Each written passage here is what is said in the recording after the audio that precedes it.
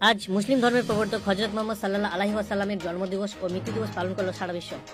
এছাড়া এদিন চাচল শহর সহ চাচল মহকুমার বিভিন্ন এলাকায় জাসনে ঈদ মিলাদুল নবী উপলক্ষে জুলুসে অংশগ্রহণ করেন প্রায় পাঁচ লক্ষ মানুষ।